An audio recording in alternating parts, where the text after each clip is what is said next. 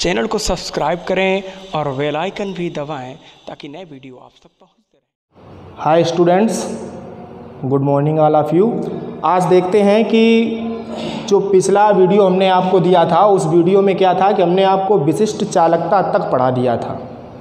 है ना? विशिष्ट चालकता के बाद में अब देखते हैं कि इससे संबंधित कुछ प्रश्न पूछ दिए जाते हैं, विशिष्ट चालकता और मोलर चालकता से। जैसे हमारे पास ये एक न्यूमेरिकल है जिसमें वो कह रहा है कि एक सेल में एक विद्युत अपघट्ट के 0.5 एम बिलियन का प्रतिरोध 45 ओम है। बिलियन की मोलर चालकता की गणना कीजिए। यदि सेल में इलेक्ट्रोड 2.2 सेंटीमीटर की दूरी पर स्थित हों तथा उनका क्षेत्रफल 3.8 सेंटीमीटर स्क्वायर हो। तो हमें इसमें क्या करना है कि हमें मोलर चालकता ज्ञात करनी है। और हमने आपको बताया था कि मोलर जो चालकता होती है, उसे हम हाफ़ लेमडा से प्रदर्शित करते हैं। ठीक है? अब यहाँ पर देखते हैं कि सबसे पहले उसने आपसे कहा है कि एक सेल में एक विद्युत अपघट्ट के 0.5 एम एम का मीन्स है कि ये आपको सांद्रता दी गई है। यानी कि मोलरता हम इसे बोल सकते हैं। तो हमारे पास जो सी है, यानी कि दिया है, सी बराबर हमें दिया गया है 0.5 एम। इसके बाद प्रतिरोध हमें दे रहा है 0.5 एम बिलियन का प्रतिरोध, यानी कि आर का मान हमें दिया गया है 45 ओम। और फिर आपसे बिलियन की मोलर चालकता पूछ रहा है। मोलर चालकता को आपको ज्ञात करना है। और सेल में जो इलेक्ट्रोड हैं, जो इलेक्ट्रोड होते हैं, जैसे मान लेते हैं, ये हमारे पास एक सेल है। ये दो इलेक्ट्रोड हो गए हैं, ठीक है ना? जो इलेक्ट्रोड हैं, इन इलेक्ट्रोडों के बीच की हमें दूरी दी गई है। एल एल का मान हमें वो दे रहा है 2.2 सेंटीमीटर और इसके बाद में उनका क्षेत्रफल, यानी कि इलेक्ट्रोड का हमें क्षेत्रफल यहाँ पर दिया गया है ए ए का मान है हमारे पास 3.8 सेंटीमीटर स्क्वायर हमें मोलर चालकता ज्ञात करनी है। तो हम क्या करते हैं कि मोलर चालकता को हम कैसे ज्ञात करेंगे? तो सबसे पहले हम बात करते हैं कि मोलर चालकता से पहले अगर हम विशिष्ट चालकता को ज्ञात कर लें, विशिष्ट चालकता को तो मोलर चालकता आसानी से ज्ञात हो जाएगी। और विशिष्ट चालकता के लिए हमने आप लोगों को एक फार्मूला दिया था। हमने आपसे कहा था कि विशिष्ट चालकता जो होती है वो विशिष्ट प्रतिरोध के व्युतक्रम के बराबर होती है। विशिष्ट प्रतिरोध के व्युतक्रम के बराबर हो जाएगी। तो अगर हम विशिष्ट प्रतिरोध की बात करते हैं तो विशिष्ट प्रतिरोध को देख लीजिएगा। विशिष्ट प्रतिरोध के बारे में हमने आप लोगों को बताया था कि जो विशिष्ट प्रतिरोध होता है, वो होता है आर ए अपान एल। ये विशिष्ट प्रतिरोध था।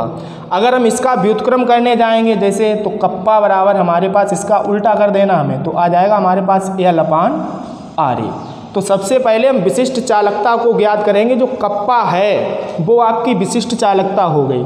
यहाँ से हम विशिष्ट चालकता को ज्ञात करेंगे तो हमारे पास सूत्र हो जाएगा, सूत्र कप्पा बराबर एल अपान आर ए। हम इससे चलेंगे। अब देखो, यहाँ पर एल का मान आपके पास क्या है?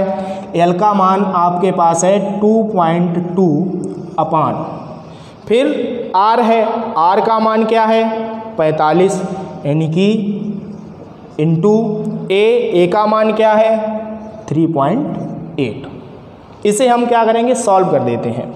तो हमारे पास तो हमारे पास यहाँ पर आ जाएगा। इधर देखिएगा। कप्पा बराबर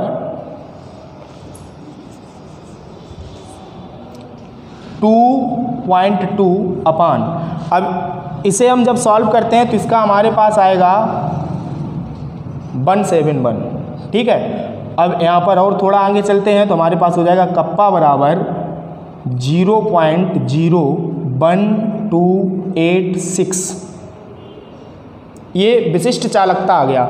विशिष्ट चालकता जो आई है, अब इस विशिष्ट चालकता में हम देखते हैं कि इसका हमने आपको मात्रक भी बताया था।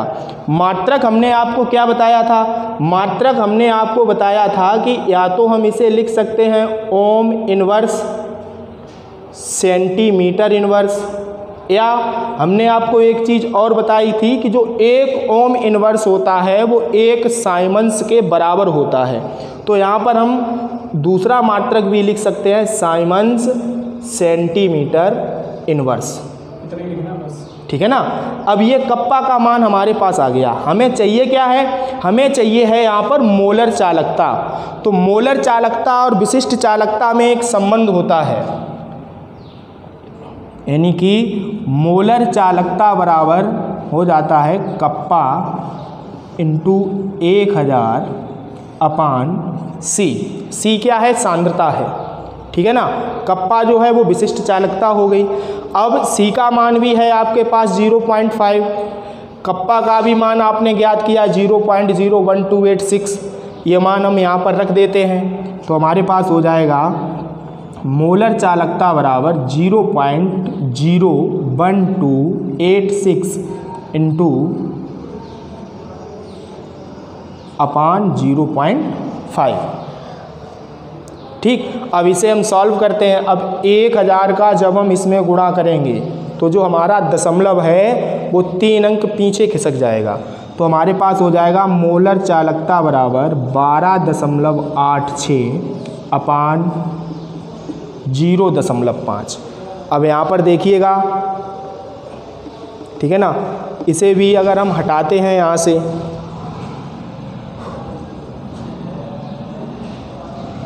तो तब हमारे पास यहाँ पर आ जाएगा।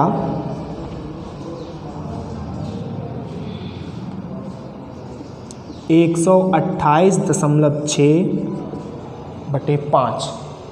अब इसका इसमें भाग दे दीजिएगा तो आपका जो आंसर आएगा, आंसर आपका आ जाएगा पच्चीस दशमलव सात। अब यहाँ पर देखेंगे कि जो मोलर चालकता है, मोलर चालकता का मात्रक क्या हमने आपको बताया था? तो मोलर चालकता का हमने आपको मात्रक बताया था। Ohm inverse centimetre square into mole inverse. ठीक है? तो अगर हमें कोई भी प्रश्न दिया जाता है और उसमें हमसे अगर विशिष्ट चालकता या मोलर चालकता के बारे में पूछ रहा है तो हम इसी प्रकार से प्रत्येक सवाल को हम सॉल्व कर सकते हैं। प्रत्येक प्रश्न का हम उसके आंसर दे पाएँगे। जैसे इसमें कह दिया है कि एक सेल में एक विद्युत अवघट के 0.5 एम बिलियन का प्रतिरोध 45 ओम पाया गया। है ना? फिर बिलियन की मोलर चालकता की गणना करनी है। यदि सेल में जो दोनों इलेक्ट्रोड हैं उन दोनों इलेक्ट्रोडों के बीच की दूरी 2.2 सेंटीमीटर यानी कि दो दशमलव दो सेंटीमीटर और जो उनका क्षेत्रफल है, क्षेत्रफल तीन दशमलव आठ सेंटीमीटर स्क्वायर हो। इतना अगर दिया जाता है तो अब देखिएगा इसमें सी हमें दी गई थी आर का मान भी हमें मालूम है, मोलर चालकता हमसे पूछ रहा है एल हमें दी गई है, दो इलेक्ट्रोडों के बीच की दूरी। है ना? और ए क्या है? इलेक्ट्रोड का क्षेत्रफल वो भी आपको दिया गया। हमने फार्मूला लगाया, कप्पा बराबर एल अपान आर ए मान रखे कैलकुलेट किया, हमारे पास कप्पा का आंसर आ गया। इसके बाद में हमने मोलर चालकता ज्ञात की तो मोलर चालकता और कप्पा में ये संबंध होता है, यानी कि मोलर चालकता और विशिष्ट चालकता में। ये संबंध है आपके पास कि मोलर चालकता बराबर, विशिष्ट चालकता इंटू एक हज़ार अपान विद्युत अवघट बिलियन की सांद्रता। यहाँ पर भी हमने सभी मान रखे हैं कैलकुलेट किया आंसर आ गया। ठीक है? आइए अब देखते हैं नए टॉपिक पर, जिसका नाम है कोलराउस नियम। ठीक है ना? कोलराउस नियम है, ये भी अधिक से अधिक पूछ दिया जाता है कि कोलराउस नियम क्या है। तो अगर हम बात करें कि कोलराउस नियम की तो जो कोलराउस नियम है, वो प्रबल जो विद्युत अवघट होते हैं, उनके ऊपर दिया गया था। ठीक है ना? तो हम कह सकते हैं कि अनंत तनुता पर किसी विद्युत अपघट्ट विलयन की मोलर चालकता जो होती है, यानी कि कोई भी दुर्बल विद्युत अवघट का विलयन है, और उस विलयन की जो अनंत तनुता पर मोलर चालकता होगी, वो विलयन में उपस्थित धनायन और ऋण आयन की मोलर चालकताओं के योग के बराबर हो जाएगी। जैसे हम बात करते हैं कि अनंत तनुता पर जो मोलर चालकता आ रही है, इसे हम मान लेते हैं अनंत तनुता पर विलयन की मोलर चालकता। अब ये जो बराबर होगी, ये विलयन में उपस्थित धनायन और ऋणायन की मोलर चालकताओं के योग के बराबर हो जाएगी। यही है कोलराउस नियम। यानी कि अनंत तनुता पर किसी विद्युत अपघट्ट विलयन की मोलर चालकता, उसमें उपस्थित धन आयनों और ऋण आयनों की मोलर चालकताओं के योग के बराबर होती है। ठीक है? अब अगर जैसे हमने मान लिया है कि ये अनंत तनुता पर विलयन की मोलर चालकता हो गई है और ये धनायन की मोलर चालकता है आपकी और ये ऋणायन की मोलर चालकता है तो अगर कोलराउस नियम देखेंगे तो हमारे पास जो कोलराउस नियम का फार्मूला आएगा वो यही आ जाएगा। ठीक है? तो अगर हमें इतना फार्मूला पता है कि अनंत तनुता पर विलयन की मोलर चालकता बराबर धनायन की मोलर चालकता और प्लस ऋण आयन की मोलर चालकता। तो हम कोलराउस नियम को पूरा दे सकते हैं। हम कह सकते हैं कि किसी अनंत तनुता पर किसी विद्युत अपघट्ट के विलयन की चालकता या मोलर चालकता, जो विलयन में उपस्थित धनायन और ऋण आयन होते हैं उनकी मोलर चालकताओं के योग के बराबर होती है। ठीक है? यानी कि अगर आपसे कोई कह रहा है कि कोलराउस नियम क्या है तो आप अपनी भाषा में उसे समझा सकते हैं कि कोलराउस नियम के अनुसार अनंत तनुता पर किसी विद्युत अपघट्य विलयन की मोलर चालकता विलयन में उपस्थित धनायन और ऋण आयन की मोलर चालकताओं के योग के बराबर होती है। अब बात करते हैं कि जैसे कोलराउस नियम है, कोलराउस नियम की अनुप्रयोग की अगर हम बात करें तो कोलराउस नियम के जो अनुप्रयोग हैं, वो इसमें दो हैं अनुप्रयोग। पहला तो अनुप्रयोग आपका हो जाता है अनंत अनंत तनुता पर विलयन की मोलर चालकता ज्ञात करना। मोलर चालकता। तो पहला अनुप्रयोग हो जाएगा कि अनंत तनुता पर विलयन की मोलर चालकता ज्ञात करने में। ज्ञात करने में। ठीक? ये कोलराउस नियम का पहला अनुप्रयोग हो गया है। दूसरा अनुप्रयोग क्या हो जाएगा? दूसरा अनुप्रयोग हो जाता है वियोजन की मात्रा ज्ञात करने में। वियोजन की मात्रा की अगर हम बात करें, अल्फ़ा। अब अल्फ़ा का मान हम कैसे ज्ञात करेंगे? तो हम यहाँ पर कह सकते हैं कि जो विद्युत अपघट्य विलयन की अनंत तनुता पर मोलर चालकता होगी और उसकी जो मोलर चालकता होगी, यानी कि अनंत तनुता पर मोलर चालकता और मोलर चालकता का जो अनुपात आएगा, उसी अनुपात से हम जो विलयन है, विद्युत अवगट्ट का विलयन है, उसके वियोजन की मात्रा को हम ज्ञात कर सकते हैं। ठीक है? तो अब अनुप्रयोग में पहला तो अनुप्रयोग आपका यही हो गया कि अनंत तनुता पर विलयन की मोलर चालकता ज्ञात करने में और दूसरा हो जाएगा वियोजन की मात्रा ज्ञात करने में। ठीक है? अब देखो यहाँ पर अनंत, जैसे कोलराउस नियम चल रहा था, ठीक है ना?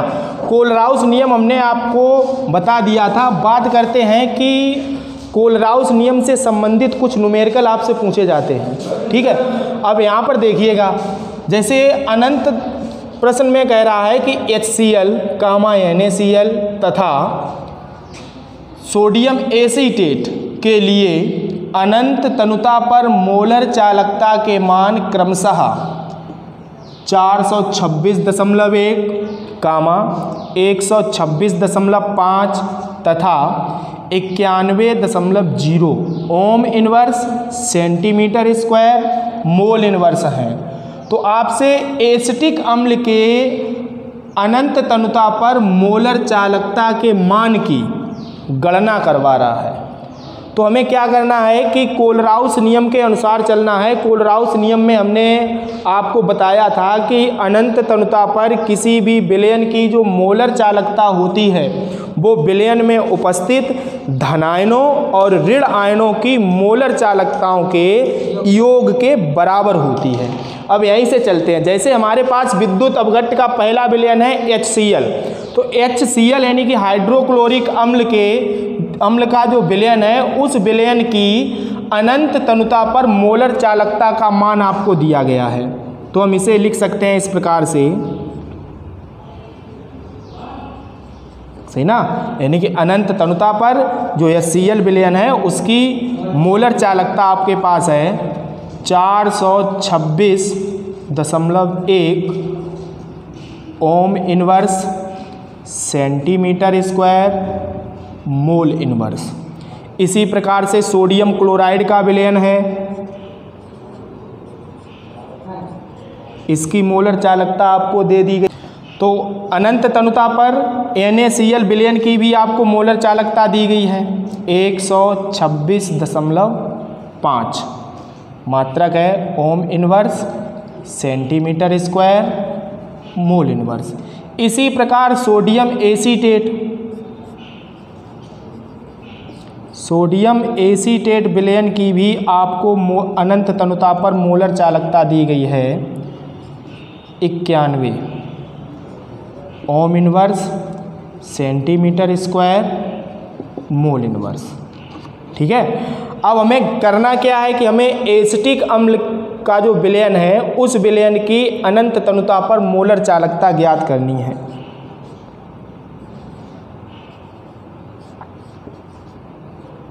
एसिटिक अम्ल विलयन की अनंत तनुता पर मोलर चालकता हमें ज्ञात करनी है।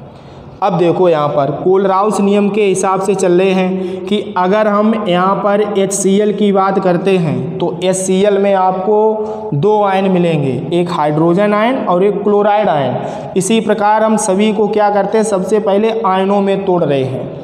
तो अगर हम एच की बात कर रहे हैं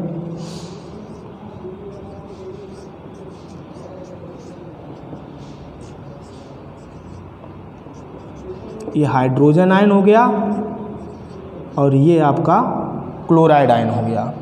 इसी प्रकार से अगर हम एन को तोड़ेंगे और इसी प्रकार से हम तोड़ेंगे सोडियम एसीटेट को। अब यहाँ पर अनंत तनुता पर एस की मोलर चालकता दे दी गई है। तो यहाँ पर हम लिख सकते हैं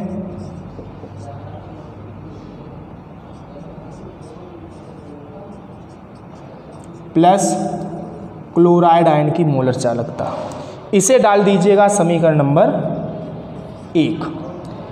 इसी प्रकार से अब आ जाओ फिर। यहाँ पर देखो, इसका भी अगर हम आयनीकरण करने जाएँगे तो हम डायरेक्ट यहाँ पर कर रहे हैं एक सौ छब्बीस दशमलव पाँच बराबर सोडियम आयन की मोलर चालकता प्लस क्लोराइड आयन की मोलर चालकता, समीकरण नंबर दो।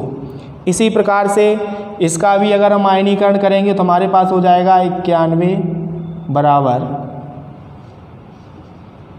एसीटेट आयन की मोलर चालकता प्लस सोडियम आयन की मोलर चालकता। इसे डाल देते हैं समीकरण नंबर तीन।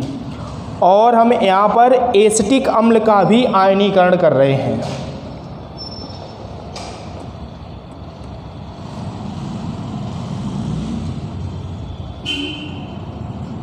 एसिटिक अम्ल की अनंत तनुता पर मोलर चालकता बराबर acetate ion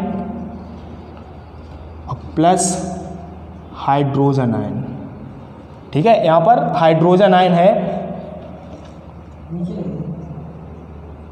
ये देखो हाइड्रोजन आयन ठीक है, इसे डाल लीजिएगा समीकरण नंबर ए हमें यही मान यहाँ से ज्ञात करना पड़ेगा। अब देखो यहाँ पर हमारे पास अगर हम एस्टिक अम्ल के आयनों को देखते हैं तो एस्टिक अम्ल के जब आप आयन देखेंगे तो यहाँ पर देख लीजिएगा, इसमें एसीटेट आयन है और हाइड्रोजन आयन है। अब आप देखो, जो आपके पास तीन समीकरण बने हुए हैं, उनमें से एसीटेट आयन कहाँ पर रहा? ये रहा। और हाइड्रोजन आयन आपके पास कहाँ पर है? ये है। यानी कि एसीटेट आयन है समीकरण नंबर तीन में और हाइड्रोजन आयन है समीकरण नंबर एक में। तो हम क्या करते हैं कि समीकरण एक और तीन को जोड़ रहे हैं। हम यहाँ पर लिख देंगे, समीकरण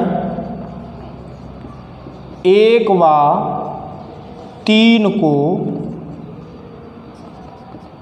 जोड़ने पर। सही ना? अब समीकरण एक और तीन को हम जोड़ रहे हैं यहाँ पर। अब देखो यहाँ पर, अगर हम समीकरण एक और तीन को जोड़ें तो क्या आ जाएगा? समीकरण एक में देखिएगा आप, चार सौ छब्बीस दशमलव एक। समीकरण तीन में देखो, इक्यानवे। तो हम चार सौ छब्बीस में इक्यानवे को जोड़ेंगे तो हमारे पास आ जाएगा यहाँ पर,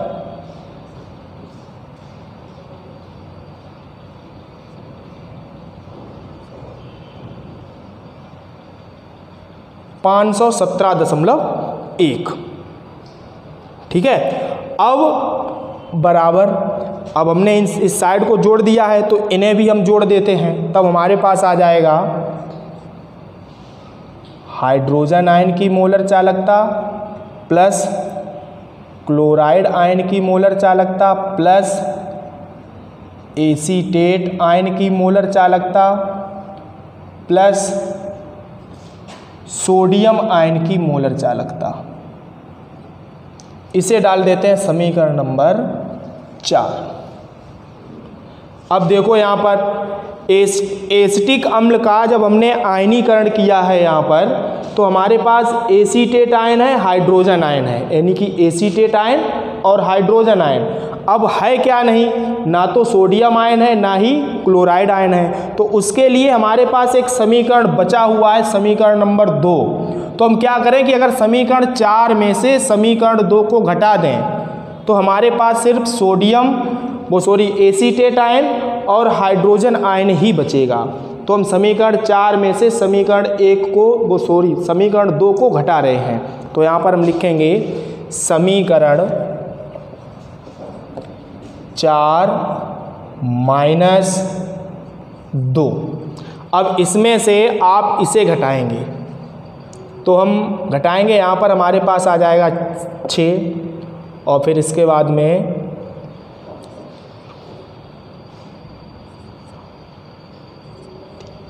ठीक है, तीन सौ नब्बे दशमलव छः आएगा निकल कर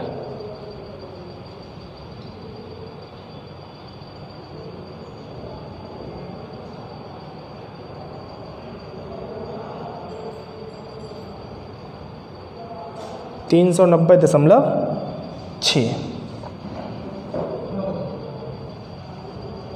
बराबर, है ना? तीन सौ नब्बे दशमलव छः बराबर। अब यहाँ पर देखो, सोडियम आयन यहाँ पर है और सोडियम आयन की यहाँ पर भी चालकता है मोलर चालकता है। तो ये आपस में कट जाएँगे क्योंकि जब हम एक समीकरण में से दूसरे समीकरण को घटाते हैं तो वहाँ पर क्या होता है कि जो चिन्ह हैं वो बदल जाते हैं। अभी यहाँ पर मान लेते हैं, ये यहाँ पर प्लस का है, ये यहाँ पर हो गया माइनस का।